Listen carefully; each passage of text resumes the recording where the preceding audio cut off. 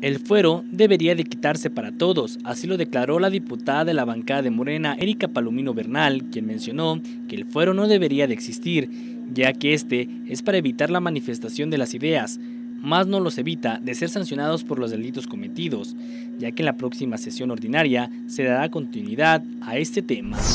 Es una figura que, sí puede ser quitada a pesar de, que ahorita no esté.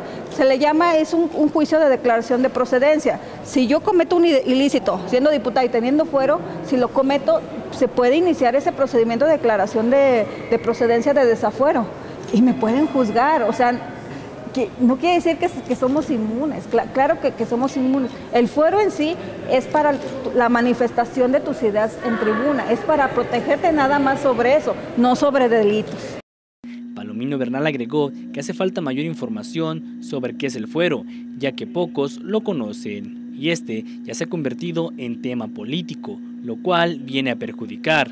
Por último, agregó que la figura del fuero no los protege de ser juzgados por cualquier ilícito. Pero realmente la figura del fuero es, una inmunidad a la manifestación de tus ideas en, en, tribuna. No, no quiere decir que no pueda ser procesado penalmente. Nada más que eso sí, tienen primero que hacer esa declaración de procedencia para que procedan penalmente en contra tuya si cometes un ilícito. Con imágenes de Oscar nos reportó para Informativo Juan Miguel Villalobos de Luna.